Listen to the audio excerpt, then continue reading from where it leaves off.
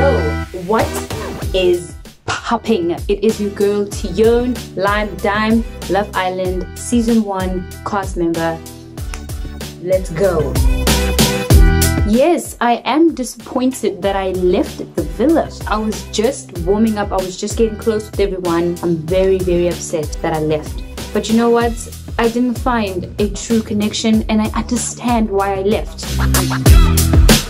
If I stayed longer, I would have loved to couple up with Ross or even try and take Xavier away. But they're so they're so coupled up. Ross was gonna be my, my choice. No regrets, you know what I'm saying? No regrets, straight up.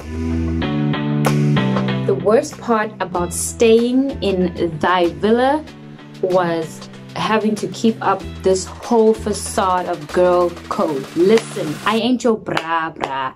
I'm not your friend, okay? I have no loyalty to you. You're there for yourself at the end of the day, but you don't need to be disrespectful. You don't need to be fake.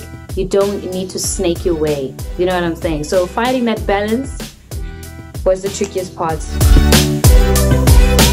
Uh, yes, the girls straight up have cliques in there. One thing, when you're going in there, they ain't your friends.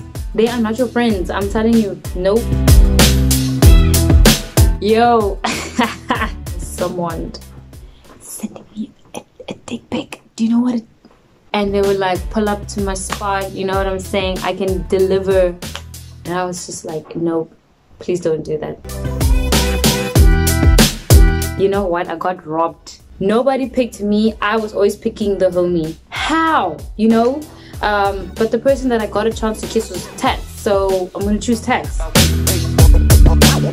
i learned so much about love i learned that love is not always going to be waiting for you. You need to take the opportunity. You know, an opportunity isn't just going to be there. You need to create an opportunity for yourself. You need to be the one to, you know, take that step and initiate something.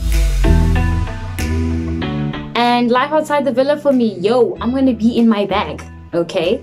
I'm to get these racks and I'm to continue doing what I do best, which is dancing, entertaining people, and I'm to make sure to help my girls out there who are trying to be in the entertainment industry. I'm to put them on and I'm to show them what is Gucci. Yes, sir.